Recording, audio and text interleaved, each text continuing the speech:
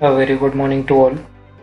Today we are going to see the next practical on the subject thermal engineering. So let's see the practical. So we are going to see this 12th number experiment which is nothing but identify different equipment in power engineering lab having heat exchangers and classify heat exchangers. So basically we are going to identify what are the different types of heat exchangers available in the power engineering lab. So this power engineering lab is for the final year students. They are having this subject as power engineering for the fifth sem. And uh, in this lab we are having few heat exchangers. So we are going to see those heat exchangers uh, that are present in this lab.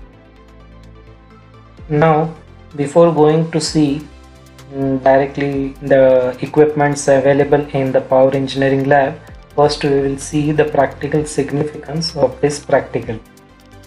So this practical is related with the last chapter of thermal engineering subject which is related with uh, the heat exchangers. Let's see what is the practical significance of this experiment. In mechanical engineering different devices use heat exchangers they include IC engines, refrigerators, air conditioners, power plants, sugar industry, textile industry, and devices used in every sector of mechanical engineering. Selection of heat exchangers for different applications is one of the important tasks an engineer needs to perform. So from this you will understand that what is the importance of heat exchangers. They have given several applications where the heat exchangers are playing an important role. So now the first thing is that you should know what is the actual meaning of heat exchanger. So heat exchanger is a device which transfers thermal energy between two fluids at different temperatures. So these two fluids both can be liquids or one can be liquid and the other white maybe it may be air so depending on application, uh, there will be two different fluids which will be at different temperatures. So for the exchange of heat between these two fluids, it is very necessary or essential that both the fluids are having different temperatures. So in this condition only there will be transfer of heat by the three different modes uh, which we are going to study in the theoretical part. So these three modes of heat transfer are nothing but conduction, convection and radiation. So the actual meaning of all these three types we are going to study in detail while uh, studying the theory part. Now let's see what are the different equipments related with the heat exchangers that are available in the power engineering lab. So here we are having the first equipment which is nothing but the window type AC so we can observe in this figure we are having the backside view of uh, window AC. So if we are considering the heat exchanger for the window AC then it is having two types of heat exchangers. One is the evaporator and the other one is condenser. So in the figure we are having here condenser but uh, before going in detail related with heat exchanger let me tell you about the difference between evaporator and condenser. तर A C तुम्ही बघितलं असाल ए सीमध्ये हे जे दोन parts आहेत इव्हॅपरेटर आणि कंडेन्सर दोन्ही देखील हीट एक्सचेंजर आहे. इव्हॅपरेटर सेक्शन हा रूममध्ये असतो आणि कंडेन्सर सेक्शन हा रूमच्या बाहेर असतो. आणि त्या पद्धतीनेच त्यांचे फंक्शन देखील आहेत. इव्हॅपरेटरमध्ये ज्यावेळी रेफ्रिजरंट फ्लो होत असतो त्यावेळी त्याचं टेम्परेचर भरपूर कमी असणार आहे. आणि टेम्परेचर कमी असल्यामुळं रूममध्ये जी काही हीट अवेलेबल आहे ती सगळी हीट ते ॲब्झॉर्ब करून घेते. आणि त्यामुळेच आपल्याला रूममध्ये कूलिंग इफेक्ट जाणवतो. आता ज्यावेळी हे रेफ्रिजरंट इव्हॅपरेटरमधून बाहेर पडणार आहे त्यावेळी त्याचं टेम्परेचर वाढलेलं असते. मग आता ही टेम्परेचर नेमकं आपण बाहेर कुठे टाकायचं? तर त्यासाठी आपण कंडेन्सरचा यूज करतो. आता कंडेन्सर जसं मी म्हटलं बाहेरच्या साईडला असणार आहे. तर रेफ्रिजरंट ज्यावेळी कंडेन्सर सेक्शनमधून फ्लो होत असतो त्यावेळेला आपल्याला काय करायचं आहे ते जी काय रेफ्रिजरंटमध्ये ही जी हीट ॲब्झॉर्ब केलेली आहे ती हीट आपल्याला बाहेर टाकायची आहे. मग ह्याच्यासाठी तुम्हाला इथं ग्रीन कलरमध्ये एक फॅन दिसेल. तर हा फॅन मोटरने ड्राईव्ह केला जातो एक्सटर्नल पॉवर सप्लाय त्याला दिली जाते. आणि ते फॅन रोटेट झाल्यामुळं ॲटमॉस्फेरिक एअर जी आहे ती या कंडेन्सरवरून पास केली जाते.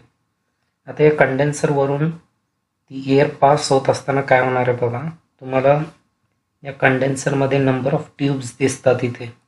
या ट्यूब्समधून आपलं हाय टेम्परेचर रेफ्रिजरंट फ्लो होत असते. आता ज्यावेळी या ट्यूब्समधनं रेफ्रिजरंट फ्लो होत असतो त्यावेळेला आपली एअर जी आहे जे नॉर्मल टेम्परेचरची एअर असणार आहे ती या फॅन ॲक्शनमुळे काय होणार या ट्यूब्सवरून पास होणार. आणि त्यामुळं ती एअर जी आहे ती एअर या ट्यूब्समध्ये जी काही रेफ्रिजरंटची हीट आहे ती हीट ॲब्झॉर्ब करून बाहेर पडणार. आणि या प्रोसेसमुळं आपलं जे रेफ्रिजरंटचं टेम्परेचर आहे ते ड्रॉप होते. अशा पद्धतीने इथे हीट एक्सचेंज होते. आता लक्षात घ्या की ही हीट एक्सचेंज जी काही झालेली आहे ती heat exchange in between refrigerant आणि ॲटमॉस्फेरिक एअर म्हणजे इथं दोन फ्ल्युड्स नाही आहेत आपल्याकडे. एक रेफ्रिजरंट हा फ्ल्यूड आहे पण दुसरा फ्ल्यूड जो आहे तो आपला एअर असणार आहे. तर तुम्हाला इथे जी काही हीट एक्सचेंजरचं फंक्शन आहे ते लक्षात आलं असेल. इथे हीट एक्सचेंजरमध्ये नंबर ऑफ फिन्स तुम्हाला दिसतील. आता इथं जे सेक्शन तुम्हाला दिसतंय डायरेक्टली ट्यूब्सवरनं एअर पास केलेलं नाही आहे तर या ट्यूब्सच्या भोवती स्मॉल फिन्स बसवलेले आहेत. हे फिन्समुळं काय होणार आहे की एअर जी आहे ती पटकन इझिली पास होत नाही.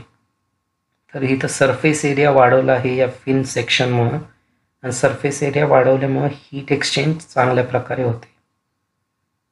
तर हे हीट एक्सचेंजर होतं विंडो ए सीच्या रिलेटेड आपण नेक्स्ट स्लाईडमध्ये दुसरं इक्विपमेंट बघू.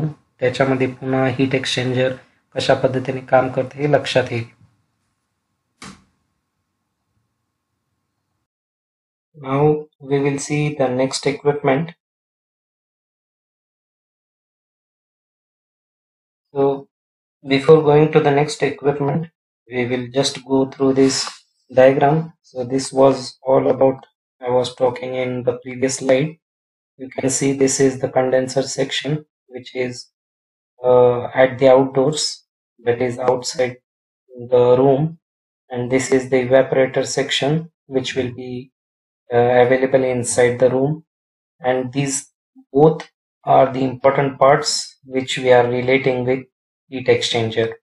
So you can see here uh, the fan. It is uh, causing the atmospheric air to flow in. And then this atmospheric air is then blown over these tubes so as to uh, reject the heat to the atmosphere या फॅनमुळं atmospheric air जी आहे ती या condenser कॉइल्सवरून pass होईल आणि मग या ट्यूबमध्ये जे काही रेफ्रिजरंट असणार आहे गरम रेफ्रिजरंट त्याला कूल करण्याचा प्रयत्न करेल अशा पद्धतीने हीट जी आहे ती इथे एक्सचेंज होते तर हे आपण आता मागच्या स्लाइडला बघितलं आहे नाव let's move to the Next equipment the equipment is nothing but compressor So here we can see there are two cylinders. This is the two-stage reciprocating type air compressor. Now what actually happens? आता two stage compressor म्हणजेच लक्षात गेला इथं दोन piston cylinder arrangement असतात पहिल्यांदा air जी आहे ॲटमॉस्फेरिक एअर ज्याचं नॉर्मल प्रेशर असणार आहे ऍटमॉस्फेरिक प्रेशर ही एअर जी आहे ती सगळ्यात पहिल्यांदा सिलेंडरमध्ये येणार. तिथं त्याचं प्रेशर इन्क्रीज केलं जातं. आता प्रेशर इन्क्रीज केल्यामुळे त्याचं टेम्परेचर देखील इन्क्रीज होतं.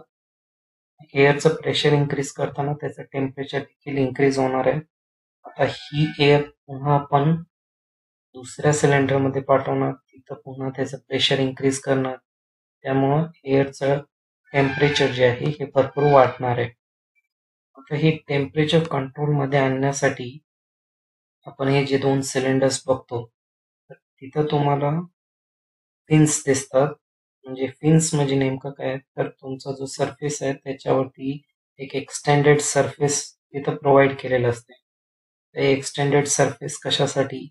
तर तुम्ही जर नीट बघितलं हे दोन्ही सिलेंडर्स तर त्याला सरफेस एरिया इथं वाढवलेला आहे. सरफेस एरिया वाढवल्यामुळे काय होणार आहे? ही ट्रान्सफर जी आहे ती प्रत्येक त्या एक्सटेंडेड फिन्स पर्यंत जाते. आणि ज्यावेळी एअर या फिन्सच्या कॉन्टॅक्टमध्ये येतात त्यावेळेला ती एअर या चेंबरमध्ये किंवा या एक्सटेंडेड फिन्स जे आहेत त्या फिन्समध्ये जी काही हीट अवेलेबल असणार आहे ती हीट इझिली एक्स्ट्रॅक्ट करून बाहेर निघून जाते. तुम्हाला ह्या डायग्राममध्ये दिसेल राईट साईडला ही जी डायग्राम आहे इथं पुन्हा तुम्हाला एक फॅन दिसेल. आता या फॅनचं काम काय आहे? तर पुन्हा मागे आपण जसं बघितलं त्याच पद्धतीने ऍटमॉस्फेरिक एअर जी आहे ती ड्रॉ केली जाते. आणि ती एअर जी आहे ती या सिलेंडर्स वरून पास केली जाते. ह्याच्यामुळे काय होणार आहे? तर फिन्स वरून ज्यावेळी ती एअर पास होणार त्यावेळेला नॉर्मल टेम्परेचरची जी एअर असणार आहे ती ज्यावेळी या चेंबरवरून किंवा या फिन्सवरून ज्यावेळी पास होणार आहे त्यावेळेला ते हे जे काही हीट झालेलं सिलेंडर असणार आहे ही हीट या फिन्सला जाते आणि ज्यावेळी एअर या फिन्स वरून पास होतात त्यावेळेला ती हीट एक्सचेंज होते. म्हणजे इथं काय होणार आहे?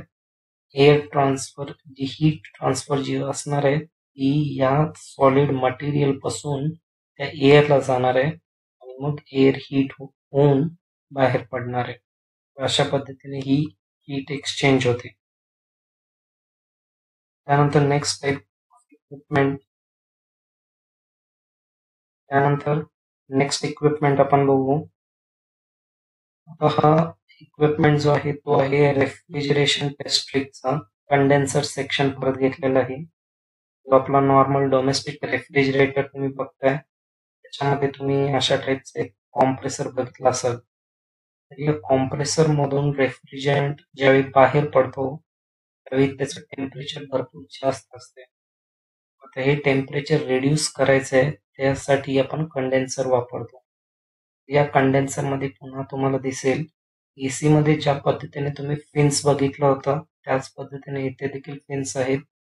त्याच्यामध्ये नंबर ऑफ ट्यूब्स तुम्हाला दिसतात आता ज्यावेळी ह्या ह्या कॉम्प्रेसर मधून ज्यावेळी रेफ्रिजरंट बाहेर पडतो त्याचं टेम्परेचर जास्त असणार आहे.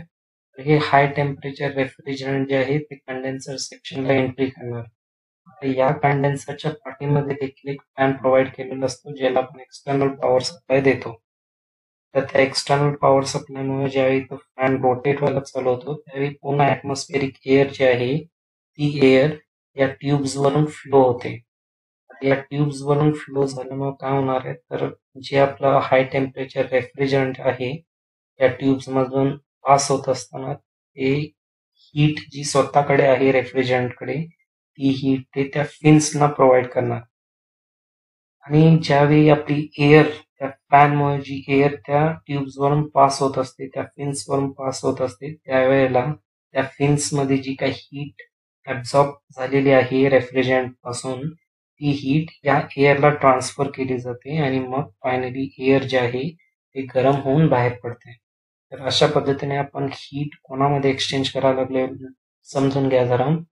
तर रेफ्रिजरंटची हीट आपण या फिन्सना देतो आणि या फिन्स थ्रू शेवटी ती आपण एअरला देतो. अशा पद्धतीने हीट एक्सचेंज होते दोन फ्लुइड्समध्ये तर पहिला फ्लुइड कुठला? कॉम्प्रेसरकडून येणारा रेफ्रिजरंट हा पहिला फ्लुइड झाला ज्याचं टेम्परेचर जास्त आहे. आणि दुसरं फ्लुइड काय असणार आहे? तर इथं आपलं एअर आहे. एअर ज्यावेळी या वरून पास होणार आहे. त्यावेळी त्या रेफ्रिजरंटची हीट जी आहे ती एक्स्ट्रॅक्ट करून घेणार आणि बाहेर पडणार. मग अशा पद्धतीने आपलं रेफ्रिजरंटचं टेम्परेचर कमी होतंय आणि ऍटमॉस्फेरिक एअर जे आहे त्याचं टेम्परेचर इन्क्रीज होणार. तर हा कंडेन्सर जो आहे तो देखील एक प्रकारचा हीट एक्सचेंजर आहे. So this was all about the different types of heat exchangers related with different equipments which are available in our engineering lab. I hope that uh, you have now understood what are the heat exchangers and how they usually work. And uh, with this, I would like to stop here now and thank you very much.